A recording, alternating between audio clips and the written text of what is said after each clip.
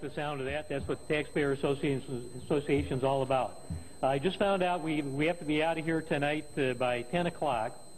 Uh, so I'd like to get the main speaker up here right now. Uh, he's agreed to give us an hour presentation and then open it up for questions. And without further ado, I'd like to introduce Mark Koernke.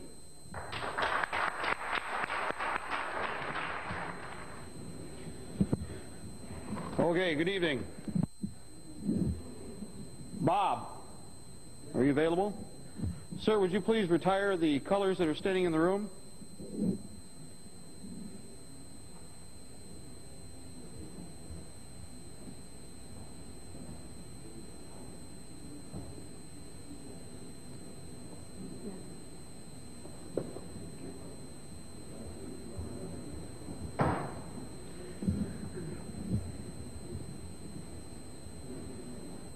Thank you. First of all, my name is Mark Koernke, K-O-E-R-N-K-E. It is the 16th of November. Do I have the date right? 1993. One day closer to victory and driving the foreign forces that are occupying our land from the United States. We will win. First of all, I'd like to explain the fact that I requested the flag that was sitting at the front of this room retired. The flag that you were seeing before you was an Admiralty flag. We are constitutionalists here. Any room in which the gold flag is flying is under British Admiralty law, not under U.S. constitutional law. If you're not familiar with it nor believe that those formalities are important, then you should be able to donate a flag of proper configuration to this room.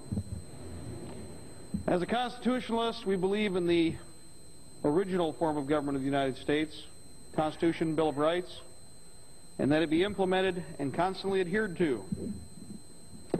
Now, a few questions I'd like to ask, because of course we always start out with interesting props to kind of get you uh, awake first thing in a meeting like this. How many of you have your liberty teeth? How many possess them? As Jefferson said, your liberty teeth, the firearms and the capability to use them the knowledge and the will to do so. Now, a lot of you, let's see those hands again, would say that these are Liberty teeth. This is Automatic Kalashnikov AK-47. However, I brought another one along tonight. You know, remember that, that Kicks box I showed you in one of the other meetings? I got a much better one here.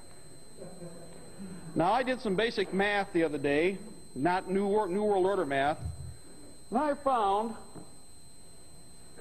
that using the old style math, you can get about four politicians for 120 foot of rope.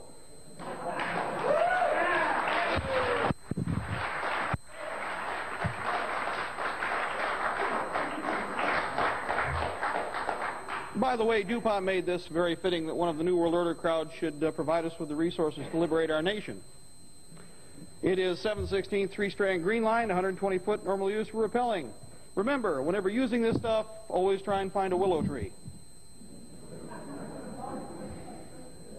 The entertainment will last longer. Why do I say use that? Well, I have a little thing here that everybody start to possess and carry with them at all times. At every meeting I demand that you do so, if at all possible. Find one. Make one. Photocopy one. That's right. How many have it here? Whoa, see? Now,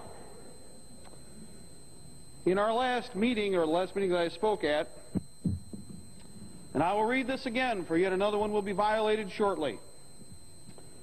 He has erected a multitude of new offices and sent hither swarms of officers to harass our people and eat out their substance. He has kept among us in times of peace standing armies without the consent of the legislatures. He is affected to render the military independent of and superior to the civil power, the New World Order Police, and the National Police Force. He has combined with others to subject us to a jurisdiction foreign to our Constitution and unacknowledged by our laws, giving his assent to their acts of pretended legislation. And if you do not think that that is happening, is not happening right now, I suggest you, you spend two hours with C-SPAN or CNN. I suggest you listen to the enemy now, for they are gloating at the possibility of sinking their claws into the corpse that was America. We're quartering large, large bodies of armed troops among us, and the use of them, Waco, Texas, Ruby Creek, and a variety of other places that we may not even know of yet. This applies because you just saw it. For protecting them by a mock trial for, from punishment for any murders which they should commit on the inhabitants of these states. You need only watch the hearings, the mock hearings concerning the attacks on Waco. For imposing taxes on us without our consent. Anybody here in favor of the last tax? I don't see any hands for depriving us, in many cases, of the benefits of trial by jury. Why the flag was retired here, British Admiralty law. You are guilty until proven innocent. Forfeiture and seizure laws. As they exist and are being used today are in direct violation of the Constitution of the United States. For transporting us beyond seas to be tried for pretended offenses. People, if you do not understand the New World Order and the World Court, you shall soon learn.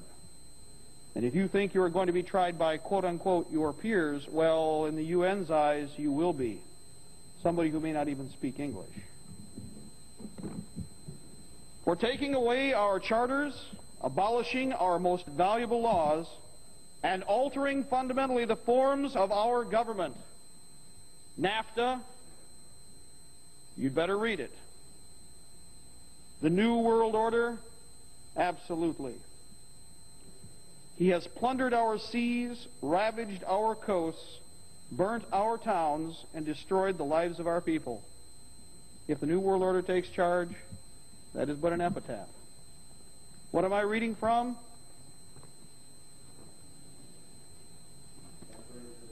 Declaration of Independence, 4th of July, 1776. Your enemies are versed well in your demise. They will slap you in the face constantly. And in fact, if you'll notice, what I am doing here is they are going to systematically take your Constitution, your Bill of Rights, I'd even start on this page, your Declaration of Independence, and turn it upside down. Why? Because the people that you are facing, we have been fighting for hundreds, if not thousands, of years. Once our enemy succeeds, those who are controlling the New World Order, they will bring in socialism. As Orwell said, the boot on the face of humanity forever. But that won't last forever. Your real enemies are the monarchists and the people of title and nobility whom we broke away from when we wrote this document. House of Windsor, House Rothschild, Habsburg, the new Rockefellers. There is a long, long list. That's why I have a lot of long, long rope. Might have to get a longer one. I'll probably wear this one out. You're right. That's why DuPont made a lot more, and then we'll go to the constitutional constitutional material, hemp. Okay? Now, have they been successful? Yes, for we have been asleep. Will they win? We shall grind them into the earth before they grind us into dust.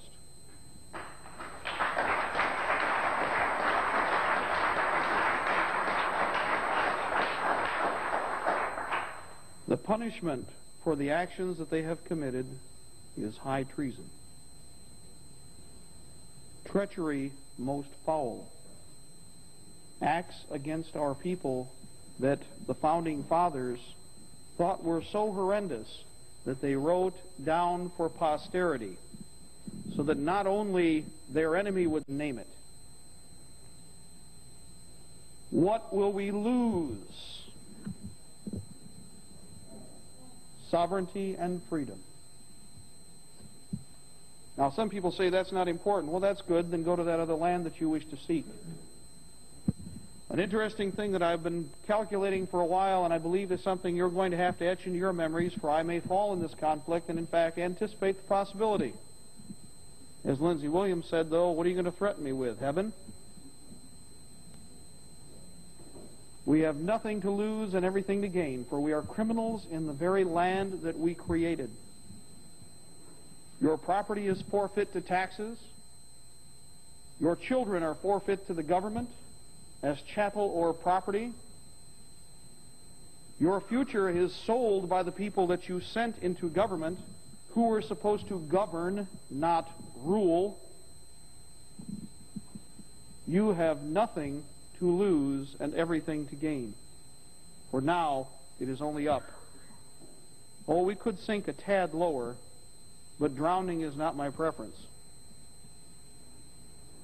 For that reason, we are going to have to organize, plan, or as we say, educate, equip, and engage. And engage, and engage again. How will they affect us? Well, that old Hegelian principle of demonstrate the problem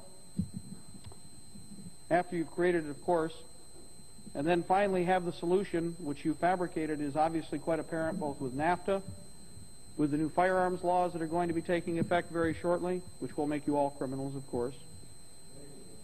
We're, that is right.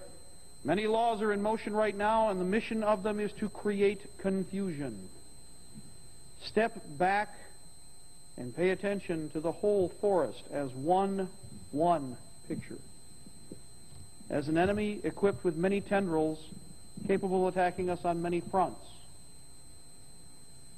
We must attack the whole. Playing little Dutch boy isn't going to work. One finger here, one finger here, a toe here. After a while, we lose. We cannot afford to be on the defensive in all areas. Oh, we will have to for a while. But in the initial stage, with the actions that are taking place now, we are going to have to strike. The gentleman here, I agree, said they are not listening to us in Washington. You are right. They are not. They have isolated themselves, they have insulated themselves. But for that reason, that will also be their demise. For while they have been insulated, we have been in motion. Our hand now reaches across the entire nation and organization. The people are disgruntled. Our earlier speaker, I cannot emphasize this enough, the people are being geared to be disgruntled so that your enemy can rise up with its own source, its own individual, and take the initiative if they stumble with this one. Watch this hand, slap. They're looking for insurance policies because even now they hesitate as they are close to victory, as the hand reaches to grasp the ring, as I have said before. And if you don't think they're worried, take a look at the rapidity with which they are striking now. The actions are they're not one here, one there. They realize that like a boxer in the middle rounds, he has to pepper his opponent with a variety of injuries, wear him out, and then, with one decisive blow to a key position, shatter the opponent's capability to defend. Do not let them run you ragged in any way, shape, or form. Concentrate. Focus strike hard against a specific target, destroy it. You must start to think of things in military terms your enemy is thinking in military terms. Why do you think they are going after the weapons? Because they know full well that all that they are doing, as it says right here, and I will repeat it again, giving his assent to their acts of pretended legislation. Will it be legal? No. Will it have the color of law? Yes. They're always worried about their place in history. Always. For they can never be fully sure. There's always that tug of anxiety at the back of the coat. The not knowing for sure where the next knife is. This is the key. We have the proper tool in the proper place at the proper time. More patriots than they can count, more people than they can find. Kill me, and a hundred replace me now. Kill me today, and with what I already know and what I've already seen. As I said, I pity them, for we cannot stop them. I would hope that many of us would regulate the actions that take place. But I do not think that it'll be possible once things start. A world of misery and a lifetime of hurt are coalescing to a nexus right now, a boiling point. You can all feel it and you can all see it.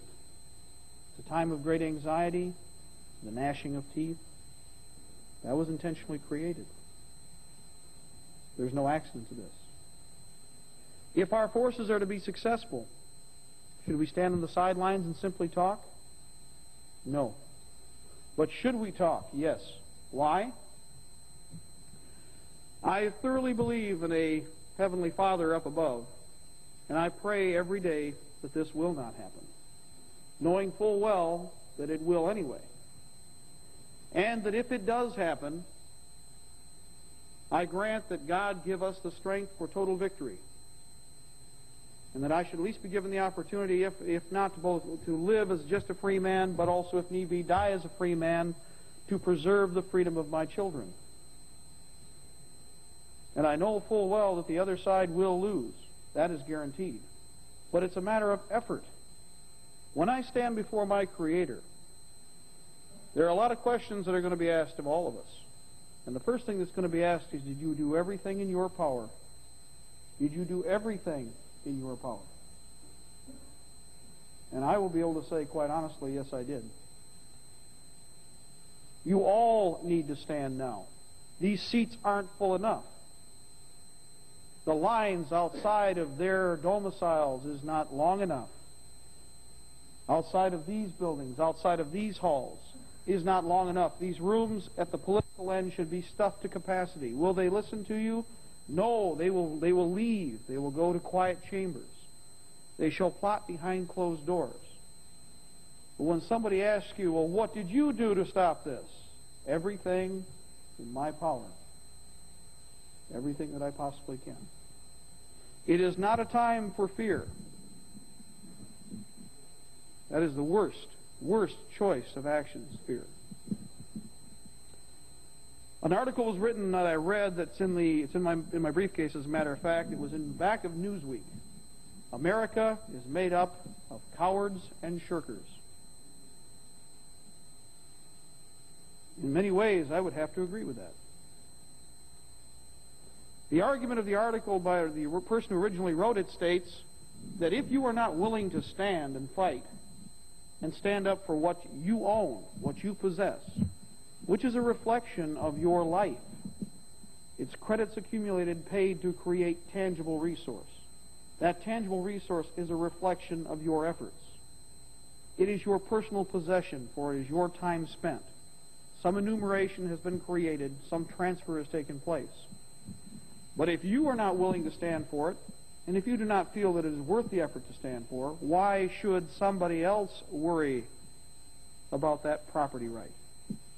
Indeed, nobody will. People ask themselves, gee, how did we get into this dilemma? Well, comrade worker, you kind of got what you paid for. Socialism, socialism, socialism. You know what the symbol for socialism is? One of them that I use at work?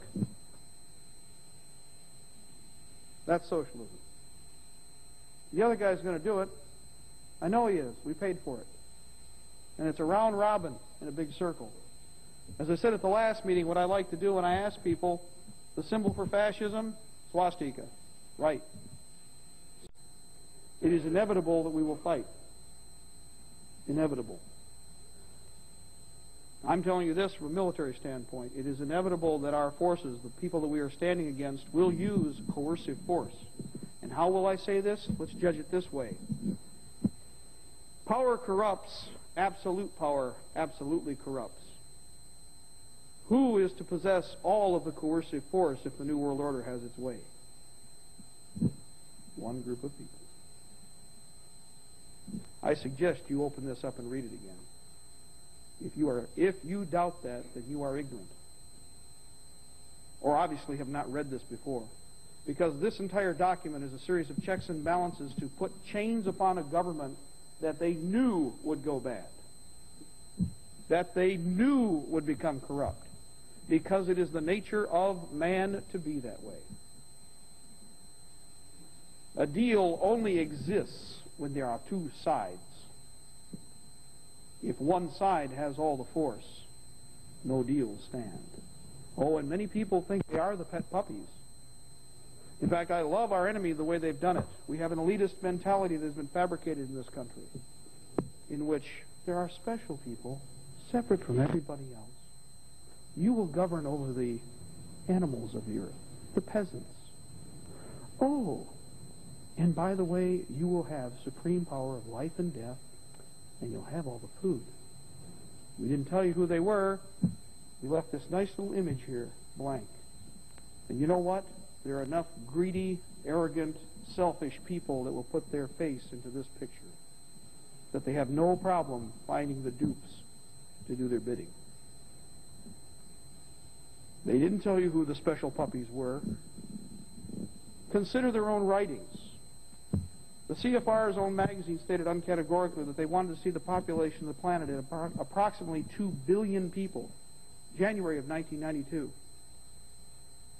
By the year 2008, I will rub that in because you are seeing many variations on this. Considering that we are screaming peace, peace, we have 150 some wars at present on this planet, and they plan on fabricating a few more. How can you kill by the year 2008 over 3.5 billion people naturally? You can't. In the article, it stated that through pestilence, war, famine, and other fabricated destructive acts, they will kill billions, not millions. To conceive of the number itself is out of our mind for one reason, one reason only. In 1932, when the Harvest of Sorrow was at its peak and the American media could have covered it, several hundred, uh, shall we say, uh, leaning reporters went to Russia. They physically watched Russians shot to death for digging acorns out of the snow. Out of the 114 or so reporters who saw this incident, only two actually reported it.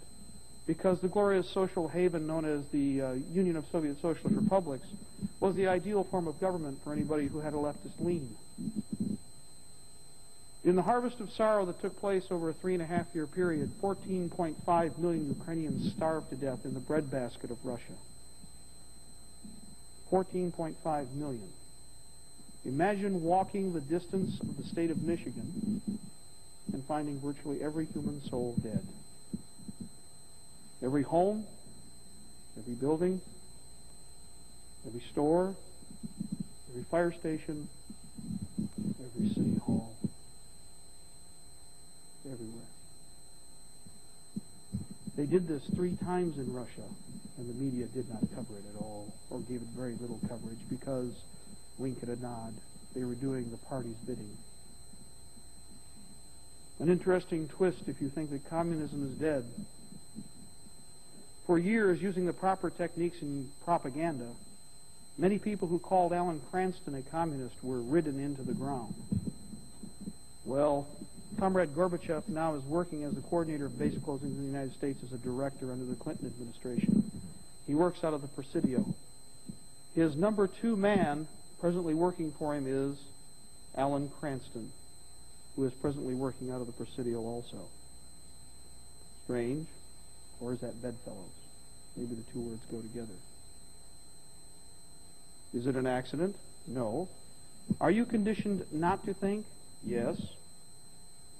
Now, I came into this originally back in 1975, 76, totally ignorant of any of what we're talking about now.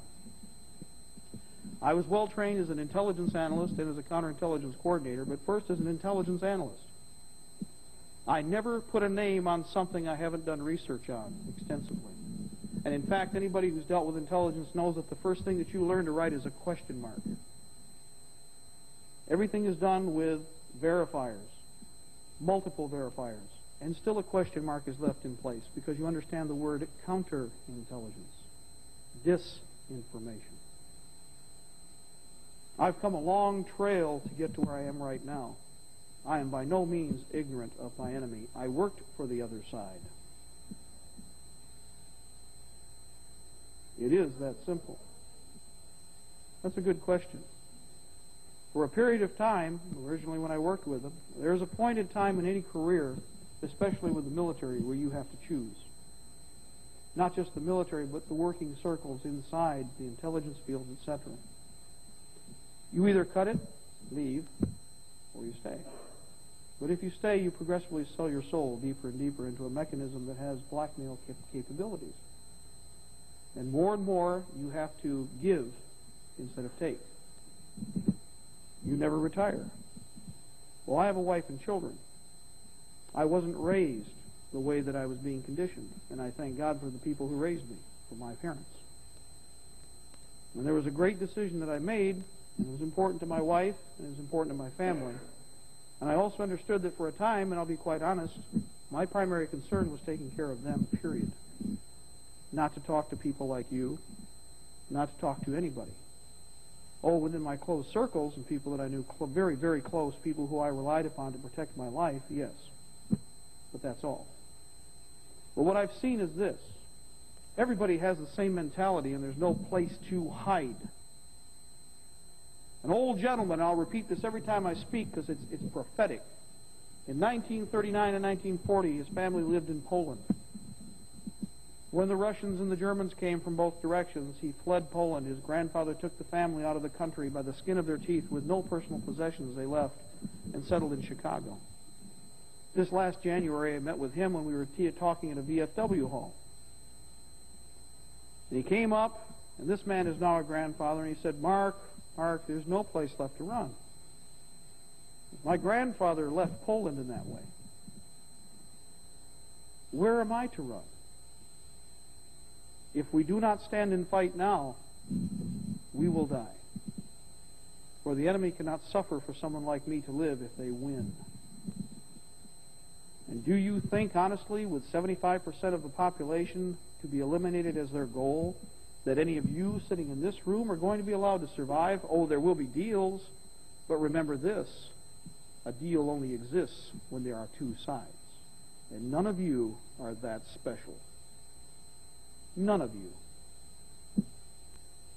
No status that I see here would buy you out of this fate. Oh, yes, you can sell your family out for a little while. You can get the neighbor's piano next door. With the search and seizure laws right now and the 1 800 screw your neighbor, and excuse me, that's the best term I can use, all of these will be checked off the rest of the way. And some of them already are because of that. But in the end, they eat their young. That's a blessing thought for me if I do perish, knowing for a fact that even were they to be victorious using the stooges that they might have, they eat their young. That's good. But they will not win. I've been from one end of the country to the other at one time or another. We've spoken in the last year and a half all over the nation. I have met tens of thousands. Tens and tens of thousands. The most dangerous part right now is that we must hold them back. This would have started even months or perhaps even a year ago. Waco put us this close, and most people were ignorant because they are isolated and they are not understanding what is happening amongst the population. And that was the test. Posse Comitatus was not overridden, and yet U.S. military forces were involved.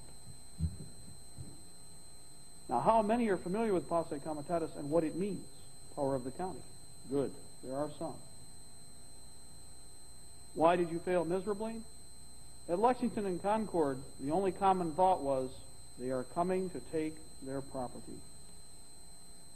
There were as many diverse and variant organizations, groups, religious factions, whatever, in the United States in 1775 as there are in 1993, despite the propaganda we have received. In one place alone, I've seen 200 independent churches come together, meet, we have talked, and they have gone their separate ways again, signing no agreement, becoming part of no charter, and yet with a common mind, for they understand the value of this document. The key, the key, the key. All the armies of Asian Europe cannot by force of arms take a drink from the Ohio River nor lay a track on the Appalachian. If this nation is to fail, it shall fail from treachery within and then force of arms from without. It is a fact. That was true in 1865. It was true in 1775. It was true in 1994. This next year will be the telling pitch, the nexus that we are talking about. We are sitting on the brink. You have been tested and you have failed. They now feel, and rightly so, that we are either so blasted stupid or so lazy or so so wrapped up in beer and pretzels and sports that we are not going to lift a finger to their actions. And I will agree with this, something that most of you do not seem to understand, but I, I want to remind you of it. When the time comes, out of the 70 million firearms owners that exist, six out of seven at least will hand their weapons over immediately. Immediately. As long as you hold no illusion to that, you'll be doing just fine. That's reality. But let me remind you of numbers using the old world math again. 70 million firearms owners minimum, with 60 million surrendering their arms, means 10 million well-armed combatants. Now, I hate to tell you, kids, but that's just like facing 300,000 screaming naked Chinamen. Worse, because we think a little better, we fight a little better, and we're a hell of a lot better equipped. I pity the fools. I really do. I really do. I've realistically evaluated the situation over the years. Two years ago, if you'd asked me how successful would we be, realistically, the action of this type, having to fight an aggressor of this type on our soil, will cost us 12 years of American history. That's 12 years of my life that I feel is a great waste. For you who are retired, that may be your life. But if you are not willing to pick up the weapons, face this enemy, and look him square in the eye, then you will have failed your ancestors, you will have failed your children, and you will have demonstrated to them that they are right. I will not let this happen. Will any of you? What? No. That's where we have to learn to use our voice again. No. No. No. Ja ich nicht verschadder, dass ich scheiß. Yeah. That is right. No. Nein. Yet. Uspietimit. We must learn now to stop them, or they will be a juggernaut, and it will cost us more. I measure not our victory now as being in question. I measure now our victory and how long it will take before we defeat them. Seriously. Have heart. Be strong. Mettle yourself now. Arm yourself for truth. It is time. What can we do? Organize. Organize. Organize. Always in threes. To organize, your best bet is to do it at the lowest possible level. From the low, we can build up a great wall. But the only way that can be done is for individuals, individuals to organize. Organize. Squads, fire teams, medical units, we need them all. If you are not interested in picking up an arm, I think that's a wonderful idea. If you have the power of your conviction to believe that, I think that's fantastic. But sure as hell, you better be standing next to me when the time comes. You better put your money where your mouth is. Put your life on the line just like mine. I need a doctor. I need nurses. I need people who are willing to risk their lives to help people who are losing theirs. I need educated individuals to help educate the young to make sure that we do not lose the heritage which is the United States, which is this document, the Constitution and the Bill of Rights, so that we properly educate and get through this in one piece. We can sink to the greatest depth, and we have. I can't see us getting any lower than we are right now. However, we can also reach the highest summit because we have the best guidelines. As I said before, the United Nations can offer us nothing. The only thing that they can do is take this away. And anybody who claims to abide by their laws is an enemy of mine and an enemy of yours. For to take this from me is to take my birthright away. And it is very important. This is not a chain upon me or any citizen in this room. This is a chain upon the government. For government shall become corrupt. And let me ask you a simple question about the politics of the mechanism that we are facing. Since it will have total power and be the gort of the day the earth stood, stood still episode, since it's going to be the little Gort robot that can wipe out or eradicate anybody who stands up, who will it answer to? That's right. Nobody. And Gort didn't either. Bingo, bango, you're all ash.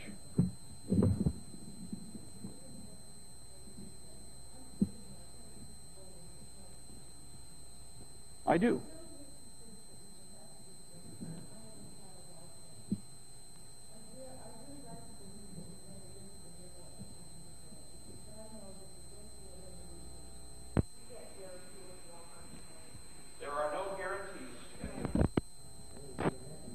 It has to for one reason, because the only way. Let me ask you this. Here's the best example. Give me your house tonight. Will you? I'll come halfway. I'll take half of it. That makes no difference. We've got. I've got a compromise here. We need a compromise. You're being very unreasonable considering that I want your home. I only want half your home now. You're not going to give me half your home? Do you realize what kind of an inconsiderate this person is? This is an example of capitalism at its, at its thriving at this moment in this country, which should be abolished because we should be self-flailing. Oh, I'm sorry, I'm an American. Oh my goodness, here, give me another, give me a cat of nine tails and I'll start it up, okay? That's our, but that's our, pro, but that's our problem. This is our problem. Compromise. From the moment the Constitution, that's why the Founding Fathers wrote this the way they did. The Founding Fathers understood that word and what an evil it would become with regards to this. For if I come to you offering nothing and planning on taking something, I guarantee I'm going to eat your lunch eventually. Because I'll come back the first time and we'll be very, I'll, I'll be happy with an eighth of your home. Just give me the property tax that I need. Now that I have the property tax, we'll figure out a way to get your home. Now, at some point, we have to decide, and it is now, that it would happen in my lifetime, in your lifetime. I could use that prayer, oh, please, Lord, don't let it happen to me. But let me ask you this, because this is something with all of you. Will your children be better prepared? They will if we don't do anything. Oh, no, they don't. I will you hit it right on the nail because this is something I want all of you to understand. I've sat in meetings like this. I've sat in briefings planning some of this. You want to see things, things that would curl your toes? I've watched these people connive and plan to cut this nation up at different times. I've had people, good men, work with me that left the military because of this. At a time when I felt it wasn't right to leave. I've had a lot of good men and women ask me, Mark, shouldn't I leave the military? Let me ask you something. Where would you rather have that person? Within the arm's reach of a rack of M16s or at home? I'd rather have the 20 M16. And let me tell you this, because to make no mistake about it, make no mistake about it, there are whole Army units that are with us. I have spoken to them. There are guard units that even now are purging their New World Order crowds, and there aren't many, but there are some, and they are identifying them. And those guard units know who their enemies are. And I've talked to many, and many of you have been, in, been with me when we've spoken to people who have represented those individuals and said, when the orders are given to shoot Americans, we shall turn and we shall execute those traitors that give the orders. We should be proud of those men because, yes,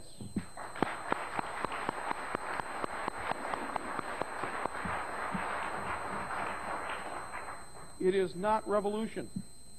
I want this understood too, because I know the term is what we're coined to, coined to phrase. Did I ever say destroy this document?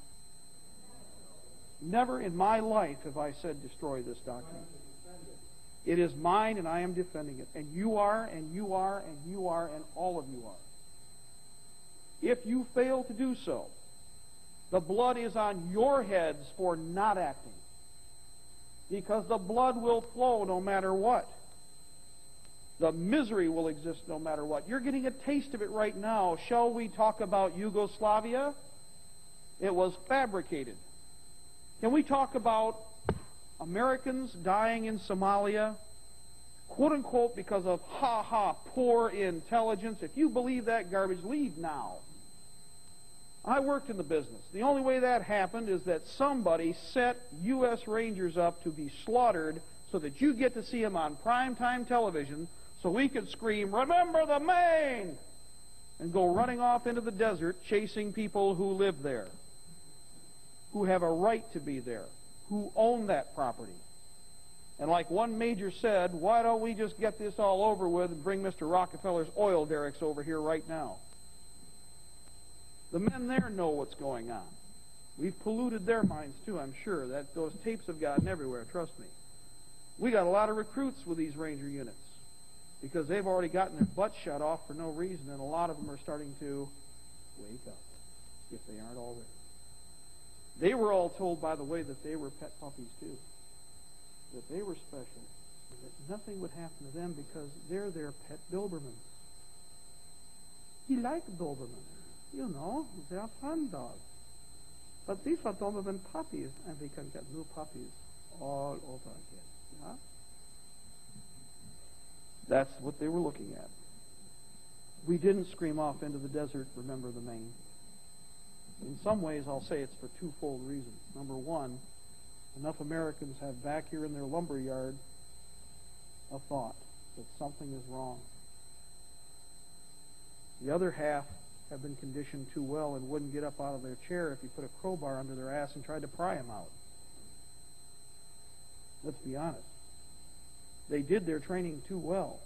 They perverted too many. And with respect to that, they couldn't get the response that they wanted. Now, what else do we have in works right now? Well, hang on to your hats, kids. Korea is just around the corner. 800,000 North Koreans have been, shall we say, levied up to the border. U.S. forces are being poured in on a daily basis. A nephew of mine just returned from there uh, rather quickly. His visa was originally blocked to leave Korea, and he is a civilian, not military. The people that he spoke to, that he knows that are in the that are in the uh, military liaison office with the embassy, stated that over the last two weeks, up until this next week, there was a 70 to 80 percent probability of war. That after this first two weeks, there was a very high probability of war. Our enemy knows how to use the flashing hand and that's what this is all about. Confusion, confusion, confusion. And he needs a war desperately. Who in their right mind will not support our soldiers in the field? I will support the soldier in the field as, a, as an American soldier. But this is a key, for they are going to go full circle with this ball of wax. Let's twist this around. It's now 40 years ago that we went to Korea the first time. Lost relatives. 57,000 Americans killed in less time than it took to kill them in, in Vietnam. A winter war, the likes of which we had not seen before. Anybody who's, who knows the forgotten war knows the misery of Korea. And they want us to go back. It's like a CD. They use it, They pull it out after a few years, they can put it back in or put it on the shelf. In this case, they pulled it out, they waited 40 years. Time to put the CD back in. We want to play this song one more time. The idea is also a great anniversary. On the coming of the victory of the Iron Fist, they shall demonstrate once again their capability to manipulate this country. And they shall get us into some kind of action somewhere. Korea would help to do two things. Number one, Mr. Rockefeller has taken his resources out of the United States and put them into the Asian rim. In order for Asia to become this superpower we've talked about before, he has to consolidate all of these countries. Whether North Korea comes down and defeats the South, or South Korea comes north and defeats them, it makes no difference. Because they now need a single Korea with a great pogrom to wipe out one side or the other. That is their social engineering technique. Need I remind you of Vietnam in 1975 or Kampuchea in 1976? The killing fields. It got rid of the competition real quick. And that's not 20, that's 25 years ago. I'd say that's pretty good. We can plug this program back in, and people are so foolish that we're going to forget it. It's only a quarter century ago. Pogrom, purge. We aren't supposed to think about those terms right now. There are a thousand different terms for the same technique. Facing one population against another and never getting any of us to do one thing that makes the most sense. Stop and look up 15 degrees to see who's pulling the strings of the other kid. With what they've created in the United States, they're going to do the same thing. Do you not see it now? It is very straightforward. It is very simple. In fact, it's become ridiculously simple, and they're so sloppy now and so crude that I'm amazed. But then again, I will say something. If you want to see just how, how far downhill we've gone, look at the intricacies and complications of the media of the 70s even. And like, take a look at the quality and the conversations that took place that were in the media. Take a look at today's standards and see how far we have sunk. They feel that they have dumbed us down that far, that we are incapable of thinking for ourselves, which in some cases they're doing a good job of trying to condition us into. We have to change that. That gets right back to what I said before about education.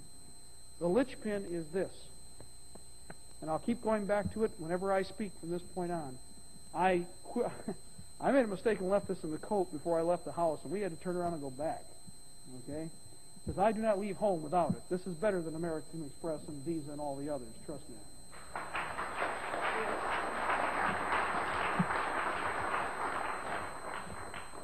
In fact, it's priceless. The original, worth an ocean of blood a payment that we have to honor, a sacrifice that we may have to make, but one that I am more than willing to if need be. A lot of the founding fathers can take this is because not enough of people are thinking about how to use this. Coercive force in the hands of the people prevents tyranny. Tyranny. A word you will learn again and again and again. Oh, they may put a different phrase up. By the way, remember under Orwell's black hole, the memory hole, all of us will disappear. I think an interesting twist to this, and I always want to remind people of, is if you consider that they planned on doing what they are doing now in 81 and they did not succeed, by an act of God, by the actions of good patriots, some now dead, not because the enemy killed them, but because nature and attrition and the calling of God takes them away from us. We all will pass. But before we do, you must all pass on what you know to somebody else. You had better at least replace your number with one. At least. You are obligated to do so. If you are old, you must seek out and find a person and talk to them and educate them. this whole thing, let's, let's talk about something here, the uh, National Death Sentence and National ID Card Program. What do you think that's about? It is a death sentence levied against the American people and our living history books, our citizens. A key to the memory hole that Orwell knew about is to destroy those people who lived the events as quickly and as systematically as possible if the events are not desirable. Is that not what Stalin did with his pogroms or with his purges? Is that not what happened in Kampuchea with the, with the killing fields? I can destroy an entire event in their minds. Now, they were crude about it, but they're going to be much more systematic, and they're going to be very conniving because I can take a young man here. In fact, now, how many people saw it in the paper? They want the one to three year olds. They're raving about it in the papers. We need to have schools and have the kids in those schools from one to three. Now, you have a kid, and a lot of other people here have kids. What do kids from one to three do? Eat and poop. Okay? Play with their trucks and toys, but we can give them the right trucks and toys if we're the government. And they can condition them properly from birth, or as close to it as possible. Why else would you want them? But to wrest them from the grandmothers and the grandfathers who do know the truth because they lived it. You must wrest that power away so that the protracted family no longer exists. Hitler Youth. Before the Hitler Youth, what was there, though? You know what Joseph Goebbels said? I want you all to remember this because Goebbels said this in 1936. I have modeled the Hitler Youth after the young Octoberists where Comrade Molotov and Comrade Stalin have built what we hope to accomplish. The young Octoberists were there before the Hitler Youth. And after we ate Germany's lunch, walked through every door, beat down every house, the young Octoberists were still in place and are there today. Isn't it amazing that the illusion that has been created? Don't think about this, even though it's right in front of you. Don't think about this. Black. I've said this before about the MJTF. We know what the uniform is. We've identified, and we had two convoys last Wednesday, 2.35 in the afternoon. By cellular phone, I was informed. 30 vehicles in one column, 20 vehicles in another. Heading westbound on I-94, they were picked up somewhere before, uh, before Battle Creek. They were followed beyond Kalamazoo. All the vehicles were black, no bumper markings, and every man in every vehicle was wearing a black uniform. Long before the SS wore that black uniform, though, somebody else did. Do you all know what the official uniform is of the KGB? Have you ever seen it? It's public information. Well, as of 1918 and even before that, with the Cheka, black was the traditional uniform of the secret police of Russia, period. It always has been. What does black signify? Terror. Terror. How can you people let these monsters creep into our lives? What is the uniform that they are going to, and why are they using the analogy? Black. Terror. Why the ski mask? I'll tell you why. Geheimstabspolizei, Schutzenstaffel, Gewäsch, Stoi, Stoi. I knock at the door at 3 in the morning. The door opens up, there's fog outside, and the secret police come in. This is the boss, ATF, we're coming in! At 2 in the morning, 2 in the afternoon, in broad daylight, it makes no difference. With ski masks on, the terror has the same effect. All you see are the eyes of a ruthless man carrying a real machine gun. Trained to kill who? The greatest threat to the New World Order American citizens. By the way, I hope you have caught on to the way you've been threatened over the last week. Did anybody catch uh, Alan Greenspan's comments about if we do not pass the NAFTA treaty? If you don't pass the NAFTA treaty, all of the stock markets of the planet will collapse and it'll be on your head. And your head. Good. What that was was a direct terror threat against us. Now, what did the President of Mexico say three days ago? Anybody catch it? If you do not pass the NAFTA treaty in the United States, we will force at gunpoint all of the poor of our nation across and into Texas, Arizona, and New Mexico. How do you like being threatened? You know what? Just about everybody figures they can kick sand in your face and you aren't going to do squat about it. And you know what? They're right. Because the people who are our leaders who were supposed to stop these things have not done so. Sorry. Yes.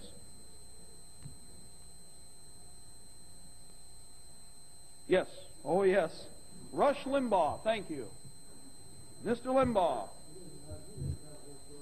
He isn't going to because he, the first question I have is this: He had that you should recall with Mr. Limbaugh is that he is on 300 public stations. He is syndicated. Nobody with 300 syndicated stations is going to tell you the truth. Now, what I call him in, plum, in the plumbing field, what we call him is a check valve with a diverter to the left. Number one, his mission is to take free energy and resource, which is what all of us are. You must look at yourself in their formulas. You are a free, explicit, valuable resource.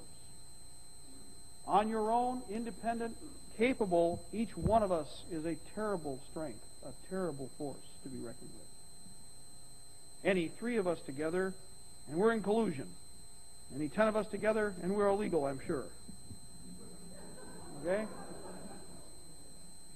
Pretty straightforward. Well, Mr. Limbaugh's mission is to bring us all into a channel. Keep us all on track. Their track. And then once he has us there, give us just enough. Oh, I'll give you just a little more. Give you a little more. Oh, yeah, a little more. Here you. And a little more. Just, oh. Like feeding goldfish or guppies. You ever notice how they come to the surface? Yeah, no. Gives us just enough to keep us happy because we hear some of what we want to hear. Ah. But his mission is like each one of them, there's one specific task. And isn't NAFTA the most wonderful thing that you've ever seen on this planet? Because, like he said, well, after all, if we don't go there, the Japanese will. Well, let me ask you something. Is there anything in the NAFTA treaty to stop the Japanese from going there if we drop our borders? No. They still go there, and now they have no tariffs to cross the border. And unlike, yes, and what happens is this the borders are open, they can put any plant there they want, the profits go back. And remember, the core profits are the key. Many of these quote unquote multinational organizations right now, remember, have their capitals not in the United States but in other nations. That's where the key profit goes. The key profit is the investment base that any nation uses. If Japan establishes factories in Mexico or throughout Mexico without restrictions, then what you have is a situation. I'm going to try and find it. I probably won't, so I'm going to be embarrassed here. I'm sorry.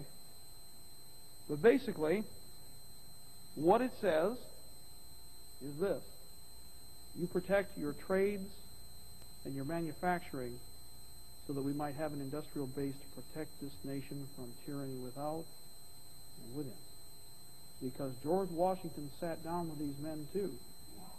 George Washington fought one of the nastiest wars in the history of this nation for two years with no supplies, no support, and what traditionally was what were called bloody footprints in the snow.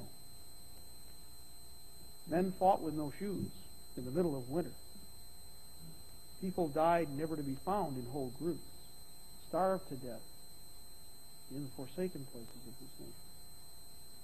And when he was done, George Washington understood because we were beholden to another superpower of its day, France. And while we certainly honored our friends for their help, we also understood that they were still a monarchy.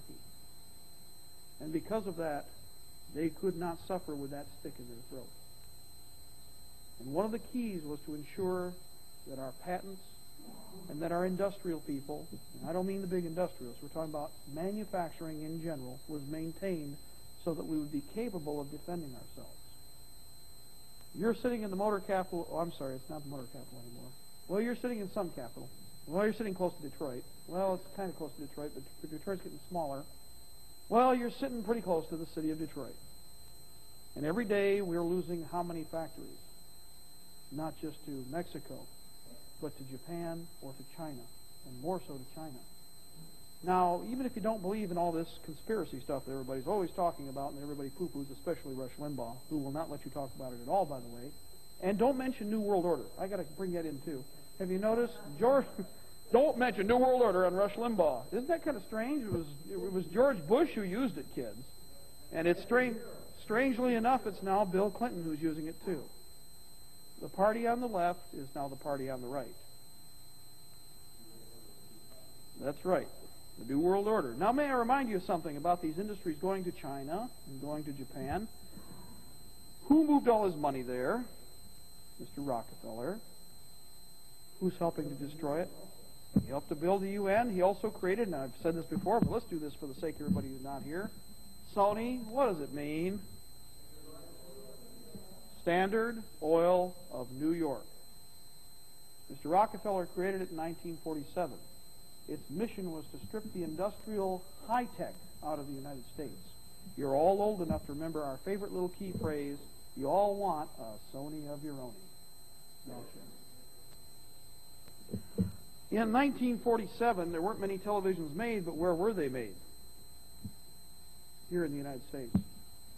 In 1967, Japan was already getting a toehold with the very phrase that I used. That same year, VHS, or a little earlier, VHS or beta systems, were starting to come into popularity to a limited extent.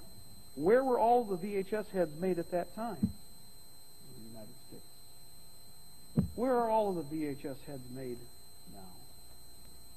Japan, and perhaps China too. What about them? no, sir. Well, the problem is this. What I was, the point I'm trying to make is that every high-tech advantage that we have had has been systematically through the use of these shadow companies been taken out of the United States by allowing our patents to be infringed upon in a very legal manner. And once acquired, using dumping techniques, etc., a systematic economic attack took place. Not a myopic little attack by the Japanese, but a systematic attack by individuals whose mission it was to draw the industry out of the United States. Not a two-year plan, not a four-year plan, nothing that short, but a decade half century and century plan. Remember that. Now, did they have a timetable? Yes, they did. As an, as an intelligence analyst, I'll explain to you very quickly what we call timelines are set up with what you've heard hundreds of times before on the media, windows of opportunity. What a window of opportunity means is that a series of actions are taking place in a convolution of organizations to culminate in a cul-de-sac whereby all of those resources are brought to bear into a focal point. Now, you don't just plan one window of opportunity. Would that not be foolishness if you are trying to endeavor in anything? You create a series of windows of opportunity. And if you're long-term in planning, you stretch these events out so that they appropriately take certain activities and bring them into your sphere of influence. That can be put to military application. That can be put to economic and industrial application or political application. It makes no difference. What we have done, or forced, and in fact I think been very successful at, is we've been trying to force them to crunch their windows of opportunity. So when I said earlier, isn't it strange how quickly they're working? The reason that this has happened is that by forcing back different activities, example, how many here were involved with the CONCON, Constitutional Convention amendments? I was. There's some people here who are key to that, though, or are here tonight, who are instrumental in this activity, and thank God they were here, or we would be we'd be in pretty tough shape right now. So they are already trying it, and they have done it in many fronts. But by holding back this CONCON, we have pushed them back in an area. By doing this, we have bunched up another activity, one against the other. NAFTA did not go through as quickly. The crime bill, quote unquote crime bill, in other words, the Making Americans Criminals bill, where all of us will be criminals for getting together 10 or more, this piled up also. And what has happened now is that a series of activities have culminated in what I said before as a nexus, a boiling point. You have been successful. If you have been involved in this fight, if you have opened your mouth even once, you have been successful. You are doing a, an excellent job. And some of us open our mouth a few more than, more than one time. For a long time. But we can see the fruits of our labor, even if they will never admit to them. Because in forcing them to do what they are doing now, they must expose and peel away more of the mask. And more of the devil is showing. More of the beast that we are facing is exposed. His true nature, because they do not want us to think four years down the road. They do not want us to think ten years down the road. What we've done is compress this so that now they must either, as we say, poop or get off the pot. And because of this, they are in a situation where they cannot back down. They cannot back down. Can you imagine the resources that have been spent? Think of what has been faced against you in this country. How much? How much time? Just think of the cost of one minute of media time right now. If you were to turn on Channel 7 or Channel 4, it costs you close to a million dollars for a minute of prime time. And yet, how many people here have seen anti-gun articles, the likes of which should have been in the editorial page, not in the reporting page? Yes. How many glorious pro-NAFTA articles have you seen? Calculate the minutes into millions. Calculate the cost of sticking a knife in the right politician here because he was just a tad too curious or making sure that another one is properly blackmailed, or making sure that others are coerced in different ways, or paying them off, or bribing them, or whatever. The numbers are phenomenal. They have taken all of their resources, collected them, and pointed them at this objective. And still they have not succeeded. Imagine, if you will. Think about it. They are scared to death of you as a free citizen free energy, free resource. So much so now that they must run with the ball. Run and don't dribble. That's what this is all about. Consider it this way. Just in the next this next two weeks, they now only have eight to ten real business days in which to finish everything that you've seen in the media. With no confusion, by the way. Have you ever noticed this? I'll give you another example, because boy, I'm throwing a lot of stuff out here, so let's throw this into the formula too. If I ask you what's happened in Detroit, and even if you don't live in Detroit, you can pretty well tell me what's happened in downtown Detroit or one of the suburbs over any given day. Even then, it's only a very bare minimal highlight and basically dog and pony bread and circus show.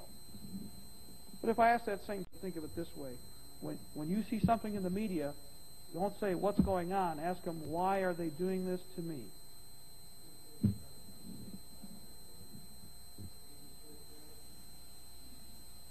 Thank you. Thank you. Thank you. Okay? That is a good example, and that's a part of bread and circuses. Back during the uh, the Desert Dust operations, when they first started up, when the when Iraq went into Kuwait, Nancy can remember this because we were I was working at when I was at work, and I first heard it, and it got a little bit like this. Oh, Iraqi forces were kind of moving into Kuwait. Well, Kuwait's a country. It's not just kind of moving into the neighbor next door. It's not like you're going over to visit somebody for a cup of flour. But what was the key and most important event to take place the week following and while that was happening? Zsa Gabor slaps a cop. And it was on the front page of the Free Press, the news, and it was in the New York Times, and it was on the front page. The more frivolous the article that I see, and I will say this to be true, this is one of the gauges that I use, and it was something I was taught. The more frivolous the article on the front page, the more disastrous the event taking place at the time. Remember my hand and what I do with the other one. It's called bread and circuses. In Rome, the technique was used in the exact same manner. Want to go light up some Christians tonight? They're doing it down at the Colosseum. You see? Yes.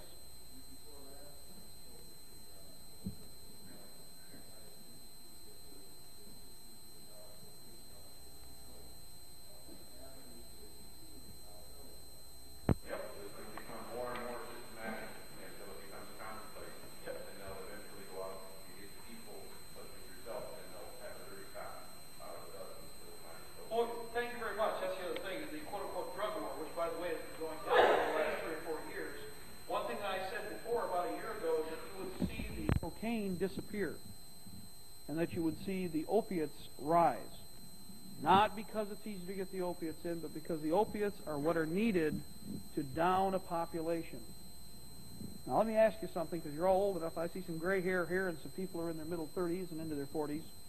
In the 60s and into the 70s, marijuana was big, and a lot of other drugs that were, you know, kind of mellowing things. You had a couch potato with an attitude, okay? You had a few high high speed drugs that were used, and cocaine was a baby back then. By the way, anybody remember when they said cocaine was not addictive? It's just like marijuana. It's not addictive. Well, we all know what happened then. And it may still not be, quote unquote, physically addictive, but it's done a good job of sinking its hooks into everybody here, hasn't it? Well, strangely enough, if you look at this from a battle plan, in order for you to commit yourself to the opium war, an opium war technique that was used against the Chinese in the 1800s, they introduced a new family of drugs. And the coca derivatives started to flow into the nation from, again, the soft underbelly of the United States. Now, if somebody told you, asked you where Bogota was in 1965, they'd say it was outside Cincinnati somewhere, and I've been there. It's pretty dull. Okay? Today, most everybody knows that that's Bogota, Colombia. One of the drug king centers, one of the central control points. Well, we also know that at that time, especially with the history books that we do have that are halfway decent, that the Central Intelligence Agency, Defense Intelligence Agency, and other organizations were planting themselves there to take control of certain resources. They created the threat. There is no doubt in my mind that they are bringing, they have brought, and that they are bringing the drugs in. I would, I'd be more than willing to go along with that argument, but I'll go one step farther. The big boys are going to get rid of the cocaine dealers now because we no longer want a hyped up, excitable population. What they need now are couch potatoes again. They got what they wanted. They've destroyed a whole generation of minds because the technology is gone. The knowledge of how to has been taken from a 20 year block of people and thrown out the window. Did we replace the skilled laborers that we needed to replace in the 70s and 80s? No. Did we replace the technicians and the people who knew how to make things work? No. Have we taken the manufacturing out of the nation? Yes. Well, now that we've gotten this far and we've got this big downer going where everybody's not supposed to react in any positive way, we're supposed to implode. We're supposed to go in on ourselves and start to, you know, mope and pull out the old sob rags and cry and then, well, we got to find some way to feel better, so we're going to look for a drug. Cocaine's not going to be available, but the opiums will be. Opium dens a great way to deal with the population. Not just opium dens, you can use a variety of techniques, but it'll come down to the opiates are the excellent tool for the population groups involved. It'll bring them down, it'll put them on the shelf. There'll still be enough crime so that this massive national police force can be used. And cocaine will be brushed aside when they decide to get rid of it, just like swatting a bug. But right now, they're in the transition phase. Now, I'll remind you something. Back when the Iraq War took place, I asked people this. Yeah, we cut off the oil. Did we cut off the legal and illegal uh, trade in opium coming out of the opium poppy fields of Iraq, Iran, Turkey, and Afghanistan? No. Who owns most of those fields? The House of Windsor alias the Queen of England now because she's queen, so she's the one who gets to be the top cookie. But it's the, the House of Windsor who is, was heavily invested in these opium poppy fields when they originally targeted the Republic of China in the 1800s. When they employed them against China, they went into the three southern provinces of China and created what are called the Opium Wars. What they did is they introduced a drug that did not exist in China and when it was, it became the same problem that we see in the United States now. Now, I'll go a little farther back because there's something very interesting. If you ever get into history, and boy, I'm a history nut. During the Aztec and the Mayan eras, massive stone carvings were generated. One of the key ritualistic tools used were the, were the uh, coca drugs available at the time. Progressively, it became a high art form, and then at some point, they started to collapse and they fell farther and farther within themselves. And eventually, they lost the technology, they lost the artisans. There's no great work that survived to demonstrate who they were and what happened. Can we speculate? Well, the stone, carvings tell us a great deal about what they were involved with and what took place. Has history repeated itself? Most assuredly, yes. Can we get out of it? Well, there are two ways that this can happen and we can get out of it. This particular aspect. With this as a shining beacon, as a guideline, we can dig ourselves out of this trench. We can. But there are three legs to the tripod that we have to stand on God, family, and country. Lose any one of them and the tripod falls. Pick one of the legs on any of these cameras and you'll find out real quick. Our enemy understood this. The family will be owned by the government. God, in their eyes, will cease to exist. And countries shall be dissolved. From the three fingers to the fist. See how it works? We can get out of it, but we have to either do one of two things here now. Accelerate the circle of, of activity that takes place, the natural series of circular cycles, and kick ourselves through a couple of them and get back to liberty. Or we fight tooth and nail and don't worry about the ark, but go straight to liberty. Either one's going to be expensive. Either one's going to cost us a great deal. One would be preferred over the other. I really don't want to spend any time being a slave. And I certainly will not curse my children for that. So I got this funny feeling we're going to be sorely pressed to take the straight line and be done with it. Yes?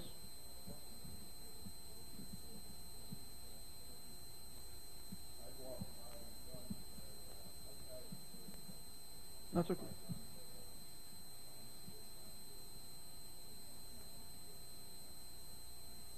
Okay.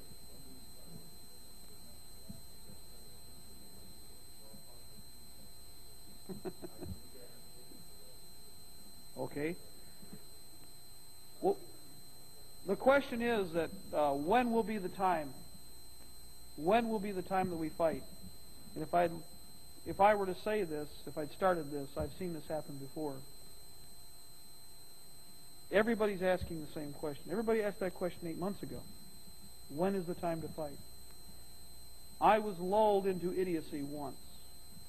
I will, in all cases, in, in fact, let, let's, let's use a basic motto you should repeat to yourself a hundred times over. In cases of natural disaster and man-made catastrophe, the majority is always wrong. Remember that, and that is the key. Wait just a minute.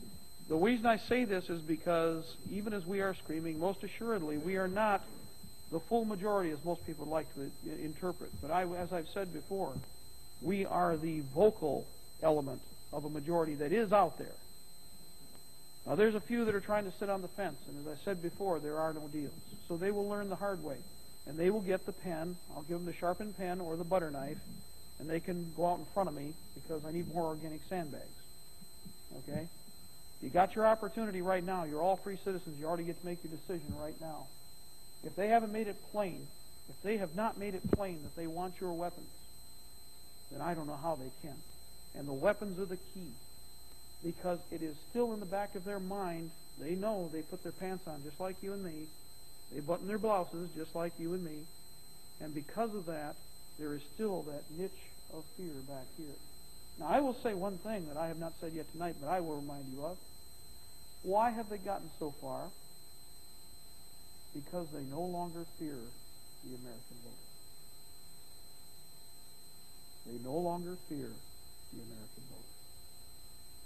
In times past, for just a small portion of the crime that has been committed by these people, these men would neither be alive nor would they be allowed to even stand on the same piece of soil that I stand on. We have been suffered and created in the image of the people we left behind in Europe, in Asia, and in every nation that our good citizenry left. Let's put it this way. I like what they said in Stripes. Oh, come on. Y'all liked Old Yeller. Why are y'all here? Because you were kicked out of all the respectable nations on the planet. Well, that's true. Only now some of us didn't get kicked out. We chose to leave. I have a personal belief in this, that it takes a very different soul to make the decision that with whatever creature comforts you have, you pick up, you leave to a question mark halfway around the world, and that you set yourself down and you make the effort to become a free citizen. That is a different psyche. That's a different, I think, gene makeup and everything. I believe it is a totally different kind of person that it takes. Imagine the strain we've put on all these other population groups because every time that we've done this, from the nations that we've received great citizens, we have left behind the others. And they have lost that spark. Our enemy knows this too. I've said this before, and I'll say it again. One thing to remember I'll take any ten of the worst soldiers I could find in the United States and pit them against any company of foreign infantry, and I pity the fools when they show up. I really do. I don't care if they're European, I don't care if they're Asian, I don't care if they're from South America. Our enemy knows this now, too. He thinks that what he's done is, you'll notice something. It's not that the enemy has raised up or elevated anybody else to any better standing. They haven't. What they believe they've done is they've cut the slats off from underneath us and dragged us down so low that we can't stand on our own feet. Well, I'm here to tell you that Daddy didn't raise no fool. And that's why I own this. And that's why I own that. And a lot more like them, and as many as I can. Because when the time comes, the spark is still alive in me. And I plan on making sure it's a blazing bonfire in my children.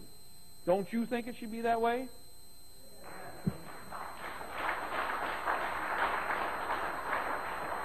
Now, when do we fight? There will be no more Wacos. But there will be an attempt for another one. There will be a terrible action. I, ter- I personally believe this.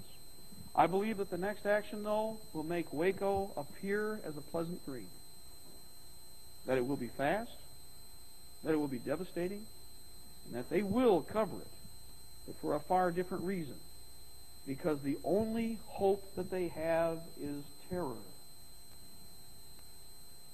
A lot of you say, oh, they won't try that again. Why won't they try that again?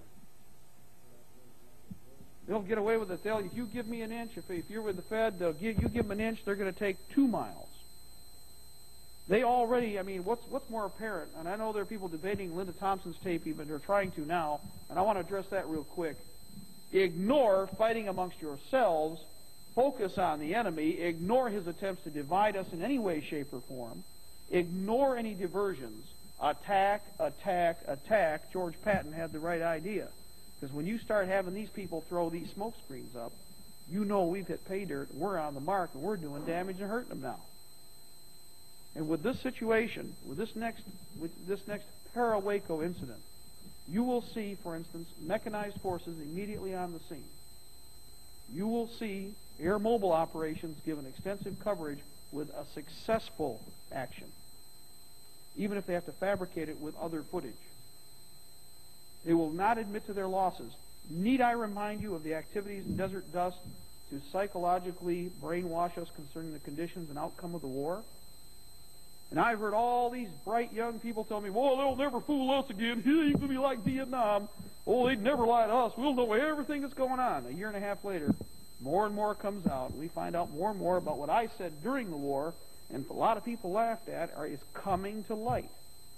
Logic dictates. You fly something into a bullet screen, you're going to collect bullets because planes are bullet magnets. That's simple. Anybody who's been in an aircraft knows this. So you fly low enough, somebody's going to find you and put holes in you. And contrary to all the propaganda, yeah, it was a great air war. We did a fine job, killed a lot of civilians, took down the population for Saddam, created a lot of building programs for him to help lift him up, and in the process didn't touch him. See? With our own activities, we are going to fight, we are going to be successful, but you are not going to get any credit for what you do. If you expect that thing to be in support of us in any way, shape, or form, it just isn't going to happen. The boob tube is controlled. So that's right. The Federal Reserve controls that, and the people overseas, foreign powers. So when the actions take place, it will probably start, for instance, in a regional sense in their respect. What will happen is, in the initial activity, an engagement will take place, possibly against a well-fortified position, not a small location. There are several targets. There's been speculations about Wyoming and other parts of the country. It is possible. When it takes place, at first there will not be much information getting out of the area. But what will happen is like Lexington and Concord. People will see the smoke. This is all that will take from that point on. Remember, when they engaged at Lexington, only 18 to 22 men. There's a really a, there's a there, there's a, a charter stating which men stood. Those men stood in the face of a wave of British military. Not an equal force standing across the battlefield. They stood up in face of overwhelming odds, knowing full well that if the enemy were to engage, he would sweep them from the battlefield. And he did. Lexington was our first loss of the war. Concord was next in line, and with the British having tasted blood, they went on. I will remind you again that the British commander went to the center of the town, had his soldiers pull a lounge chair out so that he could watch the activity, sat down in the square with his MJTF uniform on, with his Hessian uniform on, and watched his black suited, I mean red suited soldiers go house to house and burn systematically. When that happened, everybody saw the smoke from Concord. 10,000 minimum, 10,000 American soldiers, Minutemen, militiamen, men with the assault weapons of the day, stepped forward and turned the road back to Boston into a bloody red carpet. Now, that's what we need. If need be, some of us will, and many are prepared. We have our own example, for instance, our own situation here. If that were to take place in Wyoming, you would already see telegraphed actions taking place, and we're seeing, we're getting many reports from people all over the country this week. The biggest problem I have is trying to do work when I'm at work. Right? To, to see what they are seeing it's totally repugnant. These are patriotic, God-fearing soldiers who have sworn allegiance to the Constitution and Bill of Rights. They take their oath most seriously. For a foreign soldier to lay boot upon American soil is the ultimate of sacrilege. To do it like they did at Waco on the 19th of April, the anniversary of Lexington Concord, was a slap, not a shot heard round the world. Was a terrible sin against this document because it was the full force of part of the British Empire returning to kill American citizens on our soil and common and, and not common law that prevailed, but that rag that we had in here. Forgive me, it was an American flag, but it's been besmirched because of that gold trim that was on it. That is not my flag. I bend no knee to any crown, to any king, to any queen, no monarch, no position of authority that claims any title of nobility. And for you to do so is a great sin. Boy, Mark, that's awfully heavy. Yes. We talked about this today. I was on a phone conversation with a friend of mine who works in the, in the next building. And he goes, and I, I asked him this, I said, can you imagine if we had the founding fathers for 24 hours alive right now? Could you imagine the founding fathers standing? Or, as Jefferson said, pull out your pistols and fire and reload. And I'd like to have Jefferson standing here right now. Because he always said, keep your pistols close to your breast. And he didn't mean home in the closet. Yeah, cocked and locked and ready to go. And that's what we failed in. Okay, I'm going to take some questions real quickly. There's a gentleman here who's been very patient, so I'm going to ask him. Please.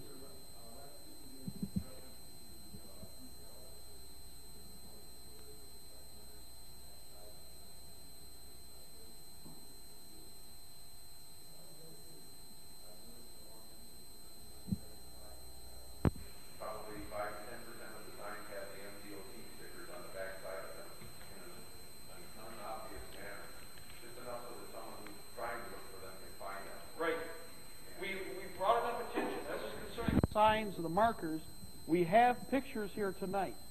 And in fact, if we could, there's a packet back with my briefcase that has duplicates of the original color photos taken out of Indiana where Patriots had already done some work that when these stickers showed up on the oncoming signs, the backs of oncoming traffic signs, they showed up all at once throughout different parts of the state.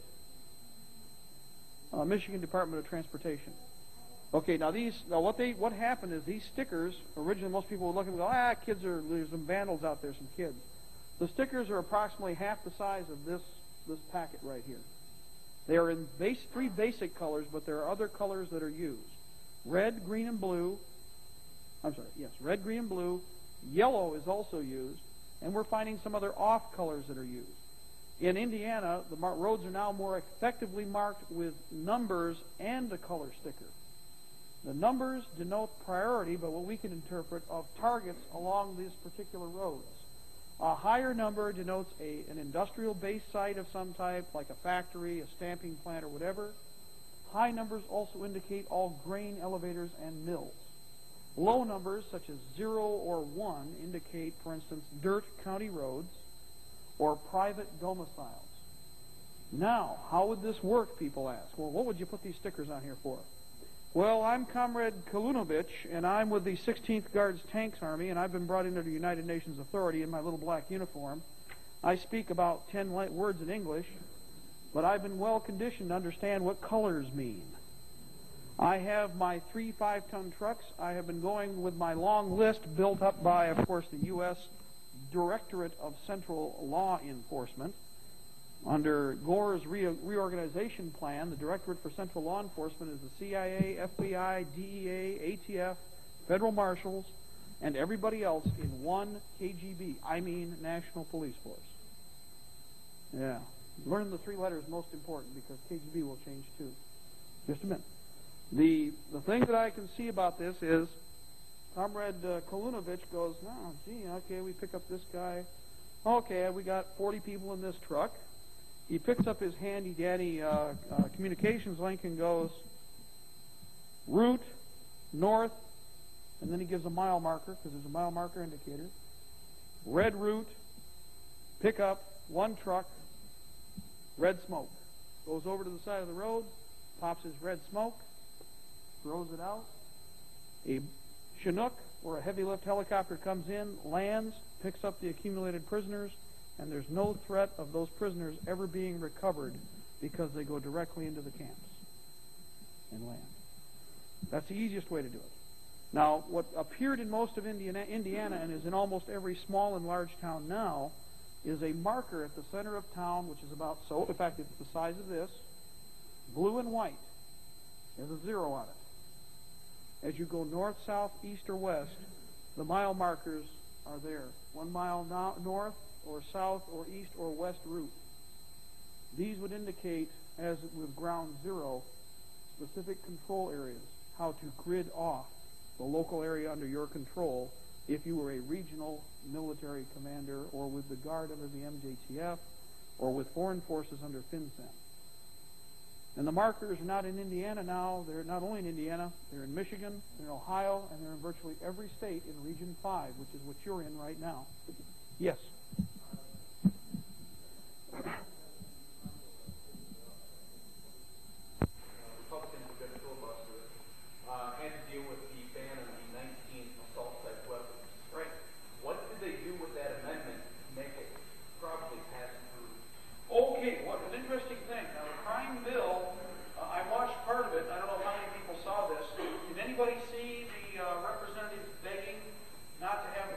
Rifles taken? I did. Did you watch them beg not to have the pump shotguns taken? I did on C-SPAN. Did anybody watch them beg not to have the demilitarized weapons taken? In other words, weapons that aren't even functional? I did. They asked for, a, for resolutions to exempt all of these arms. What does that tell you? That tells you that in the crime bill they asked for the whole House. And you only gave them half. So we don't know what they gave them.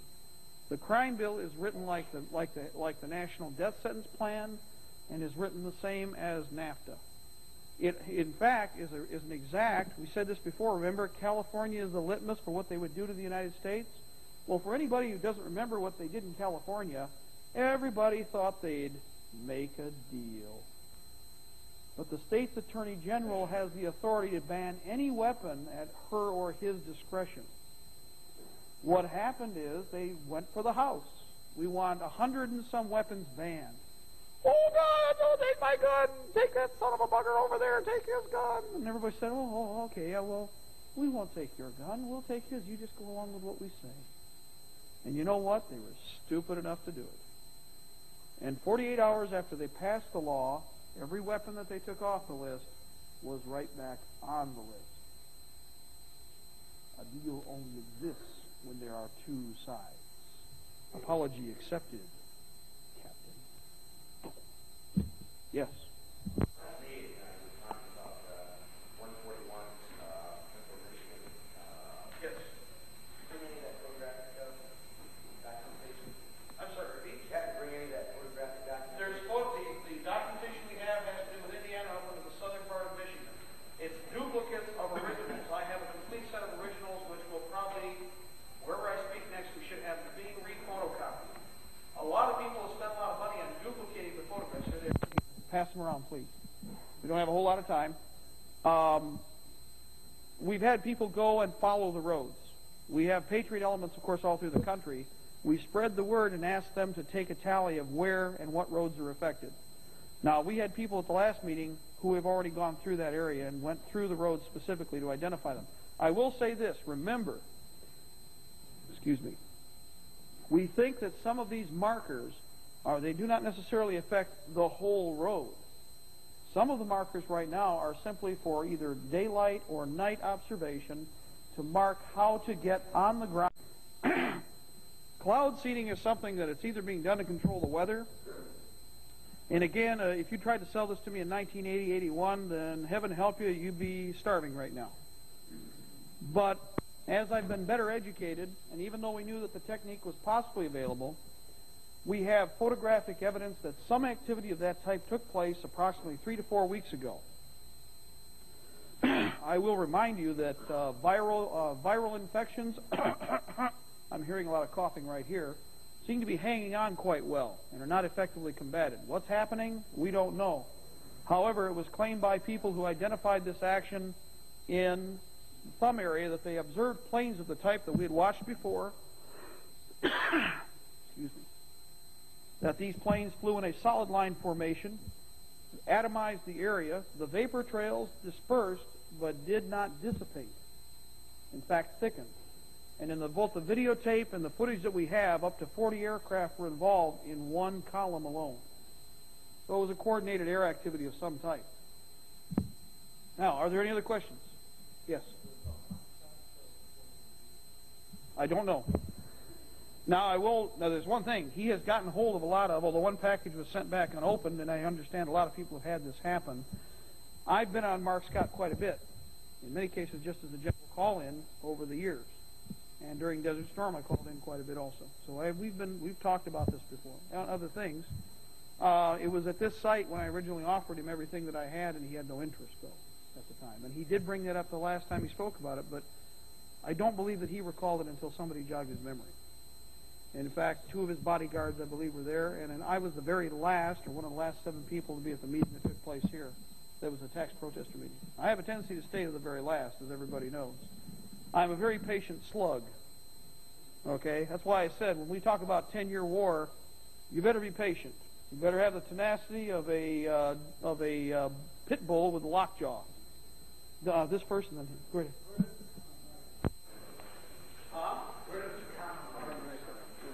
Well, the common market is a very interesting point. Does anybody remember what happened back in 1981 or 80 with the Quebec question? Quebec is coming up as a problem again. Have you noticed this? Remember how they orchestrate events.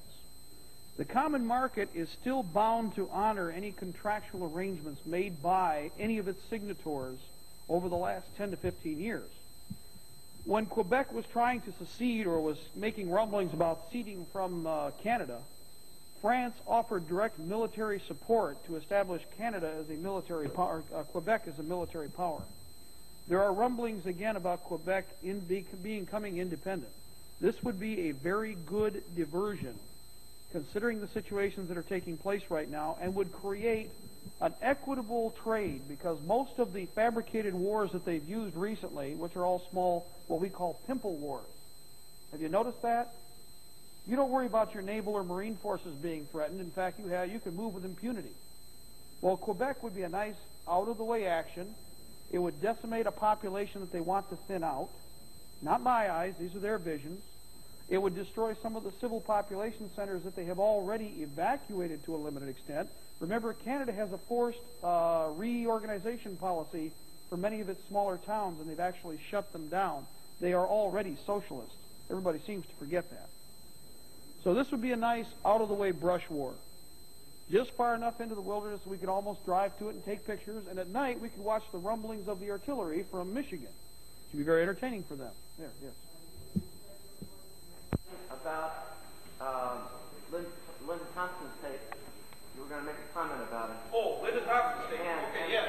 This is, the other point was about if NAFTA goes through tomorrow or not, how that ties into the Okay, we did, we touched on it, but the one question is this. Will that through? Okay, I'm going to put my, my proverbial money where my mouth is. There are two options to this action, but I smell a big greasy skunk here. I would not be surprised with the way they're keeping score in the media that we have another convenient tie vote. And how do we decide tie votes? They will try. They will try then they have to go through the site. But remember, he's already talked about reorganization. They got most. Now, wait. I'll- This brings up something. Hold on for just a moment. Something I want to remind everybody of. How did they get the crime bill and the gun control bill through the House? By special directive, contrary to congressional law. You all understand how that works? In other words, it's there, but it's not there. There's a guideline, but they didn't use it. Okay? Now, the other thing is this. I haven't found very many Americans who are in favor of NAFTA. And in fact, even the, with the people who are voting for it, there is an overwhelming negative attitude. Like the last tax hike that you had, they ignored us. So do not be surprised at what you see tomorrow. I think it'll be expected. Last but not least, whoops, one more. Linda Thompson, I'm sorry. One thing to remember, Linda Thompson generated a product, a product that was successful in moving millions of people. I will say this, were it not for the work that she has done, most people would still be sitting on their hind end in the political arena. The only reason, the only reason, and I'll tell you this because I watched all the news conferences, the only reason that the ATF and the FBI and all the other dog and circus people came in and did the piece that they did on television is because of that tape. And they, I'm serious. It was asked three different times in three different sessions. What about that tape that's floating around America? That what about Waco? Oh, you know, they would talk. They wouldn't even talk about it. Oh, don't worry about that. Now, if that's a response, I, I'm excuse me. I'll sell you some swampland. What had happened and what is happening is what we are calling the woodchuck wars. That's exactly what this is. We have gone underground and ignored the general media and gone to the people. And when it goes out, it's like we had a, our tapes went out to Wyoming. They come up, they go boom. The little bomblets drop everywhere. And like a woodchuck, it goes back underground, and I don't know where it's going next. It's gone to Seattle, it's gone to Wyoming, it's gone to Nebraska, it goes to Albuquerque, New Mexico. Linda Thompson's tape did the same thing. There was a nagging question because even for the ones who were enjoying the bread and circus that was uh, put before them and got to run constantly on television watch those people burn to death, everybody still had this nagging problem with this because even though they're confused, they're still not totally polluted by the other side.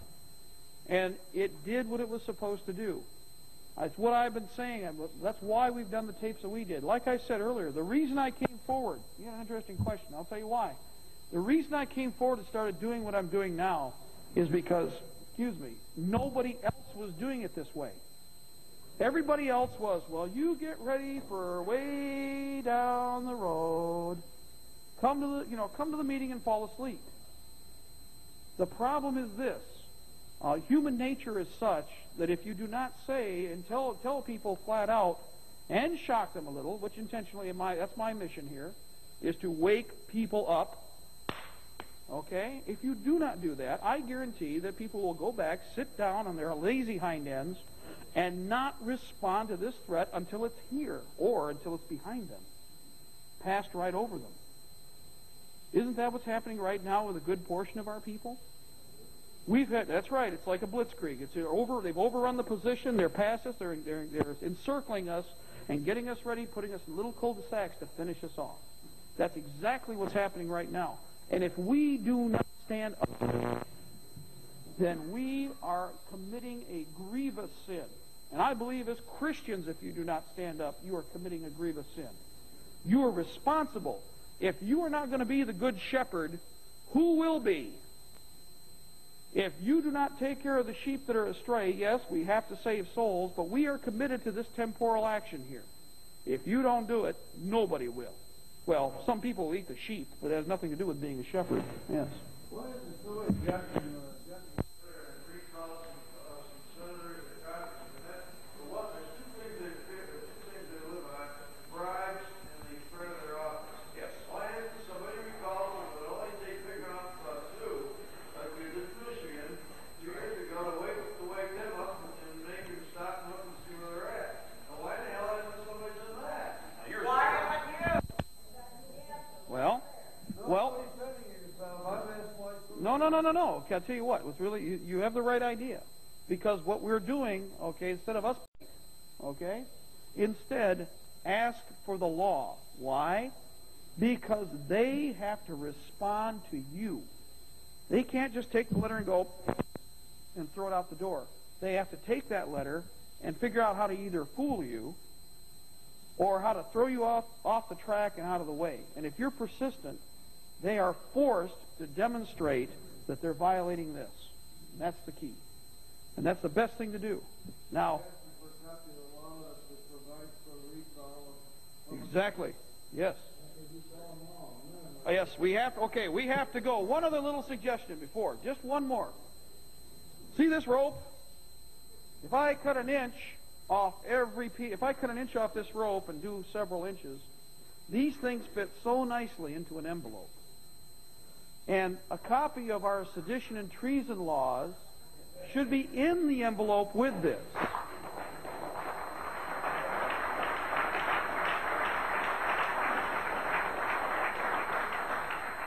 This is not a threat. This is a promise. Okay? Now, last, last but not least, and we never fail to do this, God bless the Republic. Death to the New World Order. We shall prevail.